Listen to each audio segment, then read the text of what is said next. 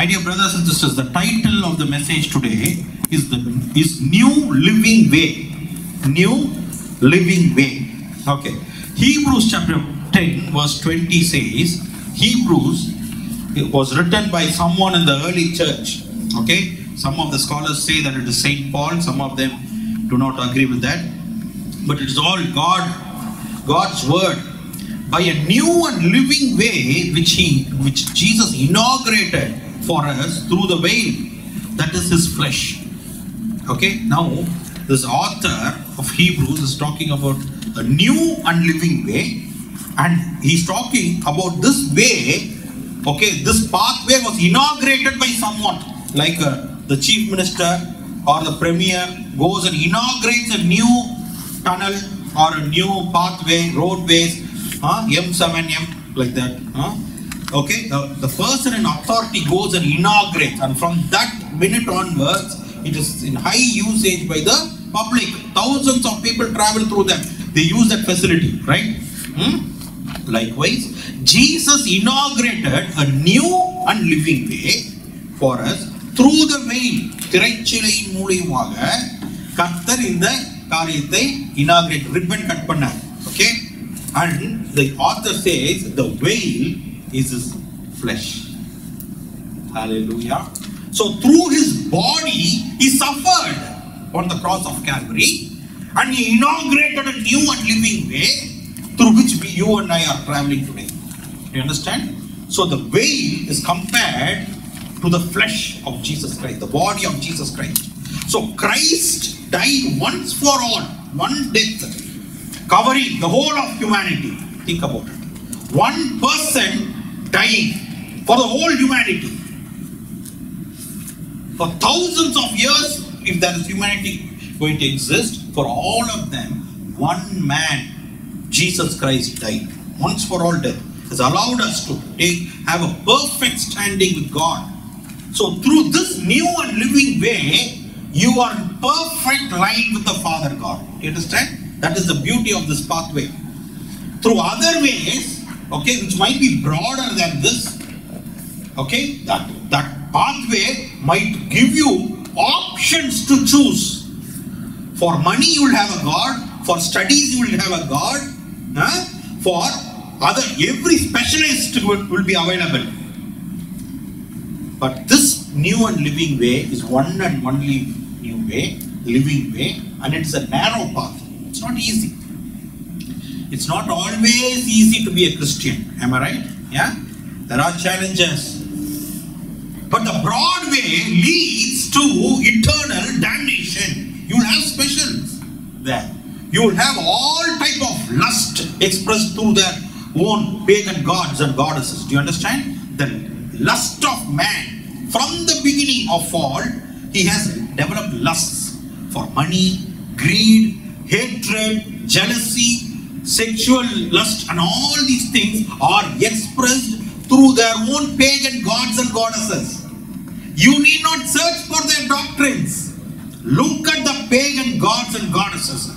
From 3000 BC, 4000 BC till date, they express lust. They express bloodshed. Huh? Okay, pagan gods. Greek. Huh? In those days, Greek and uh, those uh, Assyrians and all those people, they also had the same romance. They will have a god. Romance. Huh? Man and woman, lust. All these things are there embedded in that pagan system. So that en- enti- entices those people. Do you understand? Entices those people. And they become corrupt. But Jesus opened a new and living way, a holy way. So, through this holy way, a person who enters this holy way that Jesus inaugurated, has inaugurated, he comes to God with boldness in heart. Boldness. Hallelujah. Mm-hmm. All these days you are creeping like an animal. When it comes to God, you will immediately become like a slave. Yes, even now we are bond servants. Paul calls himself as a bond servant, a slave who has no authority, no, no case for himself. But we voluntarily take that position, not because God is calling you as a bond servant. You understand? So, but when, you, when you take this new way, you receive boldness. And what, what do you mean by boldness? Freedom of speech. Hmm? Boldness. You can talk to God like a friend. Even in the Old Testament, okay, this God allowed Moses, a stutterer, to have an argument with him. This is the type of God from the Old Testament. From the old, he's God is calling him particularly for the purpose of delivering Israelites, but this man is saying, No, no, no, find someone else. There are better people. I am not the one. I am not ready. I am not fit enough. Do you understand? And God became angry. The argument went to the extent of a real challenge between two people. So, in the presence of God, this God that you and I worship, from the Old Testament, they felt some boldness in heart that I had, I can have a conversation. You remember Abraham pleaded for the Sodom and Gomorrah, the dirtiest sinners of that time. Sodom, even now that has become a very bad word, right? But Abraham interceded for such dirty sinners. While Christians, we, we start immediately cursing such people, right? Huh? But Abraham in the Old Testament, a friend of God, pleaded, was pleading for such people. And, G, and God of that time, who, who, uh, who came to Abraham, allowed that discussion, that intercession. 50 people, 40 people. Can you see the boldness? In the presence of Jesus Christ, there is a loving boldness. With the fear, with the reverential fear, you will still have boldness to have a talk with Him. Do you understand? This new and living way. Whereas other pagan religions do not offer this. For your information. Okay? Do this, buy this, this many kilos, yeah? and then the pusari will, will do everything. at the end of the puja. But here it's not like that. You have boldness. Do you understand? And no veil stands now between you and God. Is there any veil in your heart? Is there any veil that is that is blocking the visibility of God in your life, my dear brothers and sisters? The veil has been torn. The veil has been already torn on the, on the day when Jesus died for you and for me. And the Pharisees, Sadducees, the chief priests were stunned, were, were shocked by what happened in the temple because that veil is a very thick veil. It cannot be torn. Okay? Even with the sharpest knife, you cannot go and tear it like that. There are specifications of how it is being woven. You understand? Okay? So God has torn the veil already. Okay? So I want you to understand the tabernacle because that, there was a direct connection between the cross of Calvary and the tabernacle veil and the temple veil, right? So there was something being dealt in the cross that had a direct impact within the cross of within the tabernacle structure. So you should understand. So are we going to have a theological discussion? No. I'm really going to bring a very important thing that is going to happen within you. Something is going to happen within you. Okay? Now if you go to the next slide, I can show you. So this is the old the Old Testament temple structure, tabernacle structure or the temple structure. So can you hear see the gate in the right side? The gate. And then comes the altar of burnt offering. So now I'm a Jew. Imagine the time of Jew. I'm entering to the gate. I'm traveling from some other city from the town from Galilee. Okay? With my family, I'm coming. I'm entering into the gate. Okay, I'm bringing, I'm dragging a goat along or a bull alongside me. Okay? So first thing I will do is go into the burnt offering area and burn that offering. First give the offering. Huh? In our services, we collect the offering at the last. But how did Jews worship the Lord God? First offering. First pay for your sins. Do you understand? That is how it was. Okay, and then comes the laver. So that's a bowl of water where they wash their feet and, the, and cleanse themselves. And then they enter into the holy place. So the outer court is where, so what is the washing? It's equivalent to a baptism of these days. Have you been baptized, my dear brothers and sisters? Have you been baptized in the name of the Father, the Son, and the Holy Spirit? If not, you have to commit yourself to such a baptism. Where you go into the waters and come out as a new creation. That is the moment you are making a divine covenant with God. It's a supernatural activity as well.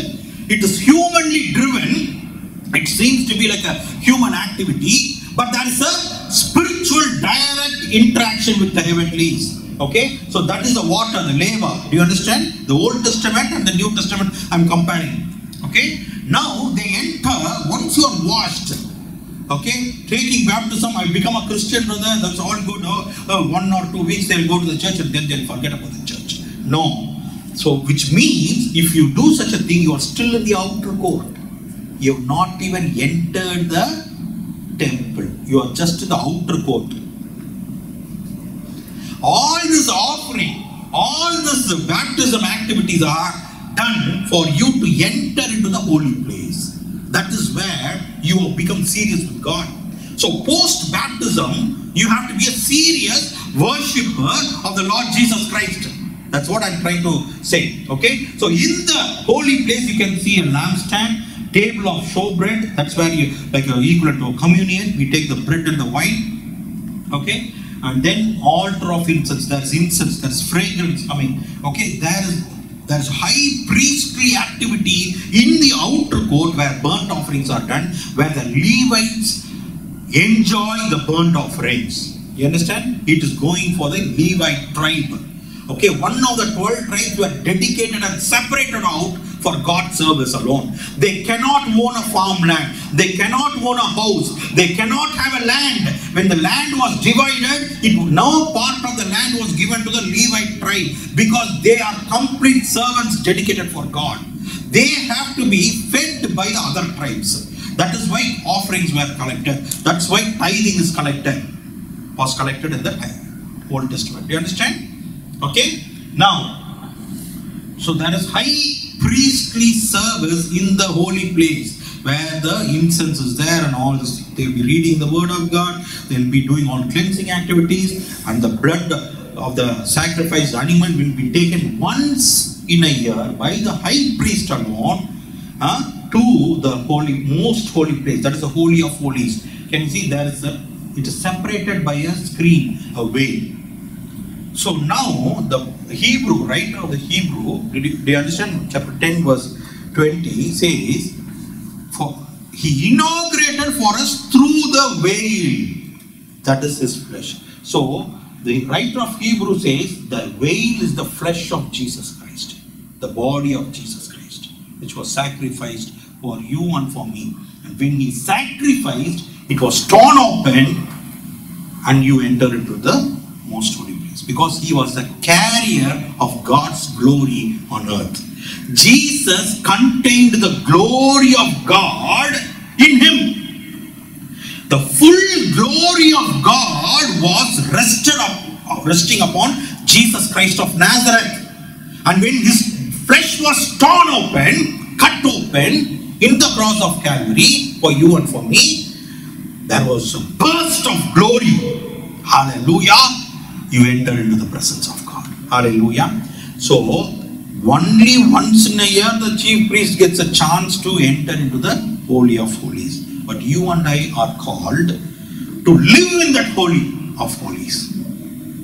You have to breathe the Holy of Holies all through your day. So, how can that happen? Are we living such a life, my dear brothers and sisters? Be honest with yourself. Are we living such a life where we are really living without other distractions? Hmm? Even the holy place is a is an activity place. But when it when you come to the holy of holies, less activity, more of God. Okay? Many churches are more activity, less of God. We are slowly moving from the holy place to the most holy place where you where you and God alone are there talking to each other, dealing with the blood, dealing with the sins. Do you understand? You are called for that. Don't think of ordained pastor cannot do this. No, you are called for such a service. And God, the Father, is expecting such worshippers. I didn't say this, Jesus said. This is an expectation not from me, from the Father God Himself, my dear brothers and sisters. So we, in this new covenant, how is this translated now? This, this is the Old Testament. Now we have a high pastor, high chief priest, whose name is Jesus Christ. Do you understand? So he is functioning in the heavenly realm. Okay? The church is in the earth. He has entered into the most holy place. He is serving the Lord. He is interceding. When Father, be merciful. Hallelujah. Do you understand? He stands in the gap between us and the Father. My dear brothers and sisters, can you move to the next slide? There's another diagram. Now, I told you this is not a theological stuff. So now, how is this getting impacted in, related to our life? So the the old covenant temple and the new covenant temple, we are dividing it. Now, the outer court is our body. Okay, outer court. Body is nothing but the outer court activity. What is happening? Sacrifices. Okay, washing. Huh? So the blood, the, the baptism and all, how does it happen? In our body. Right? Okay? So that is the level at which people, most of them stay. But we are more into the inner man, which consists of soul and spirit. So the holy place is the soul. That is how they relate. Okay? Soul is a bundle of emotions, mind emotions. Okay? So that is also good, nothing wrong. But if you are only an emotional Christian, you are going wrong. You, you, you have to allow the Holy Spirit to support your mind and emotions to take you inside the Holy of Holies. You cannot remain as an emotional Christian. எப்ப பார்த்தாலும் இயேசுங்க நல்லவருங்க அழுகிறது மட்டுமே உங்களுடைய வேலையா இருக்கக்கூடாது அதை தாண்டி ஆவியானவரை கொண்டு நீங்கள் எதை செய்ய போகிறீர்கள் just thinking about Jesus and the sacrifice of Jesus Christ on the cross of Calvary and becoming emotional, crying, blabbering, giving testimony, sit- standing, sitting is not enough. That is soul level Christianity. That is good, but not enough. We cannot stay there because God dwells beyond the veil. Am I right? Where is God dwelling? In the Holy of Holies. Where is the Father inviting you to? Holy of Holi- Holies, not in the outer court. He is not satisfied that his children are playing in the outer court. He is not satisfied that the that his children are wa- getting washed by the baptism of uh, ba- baptism. That is not enough for him. The Father God is calling you into a deeper, intimate, one-to-one relationship where He is one in one with you. You understand? That happens only in the Holy of Holies. He's not even happy with the holy place where soul is entertained, where the soul is activity, active. Even in the so-called spiritual churches, what is happening is most of them are soulish people, emotional Christians, doing nothing but getting emotional with God. They always depend on God's promises after promises after promises of wealth, riches, all these things, marriage, giving in marriage, getting out of marriage, uh, soulish. That's not it. That's good. Getting promises, getting it fulfilled, all good. But that is all soul level. God is inviting you and me into a deeper spirit level. Holy of Holies. Spirit is directly related to Holy of Holies. Do you understand what I'm trying to say? So you are already a tabernacle. Am I right? You are formed as a tabernacle. Body, soul, spirit. You are a tabernacle. God is considered, the Holy Spirit considers you as a temple. How? This is how. The Holy Spirit is considering you as the temple, not the Jerusalem temple, not the disputed buildings, not the buildings, the church buildings which are in court uh, hearings. God is not interested in those beautiful buildings, my dear brothers and sisters. He is interested mostly in your spirit, soul, body. Do you understand? God, where does He dwell? In your spirit. In your spirit. Where is the spirit activity? Where is God speaking? In your spirit.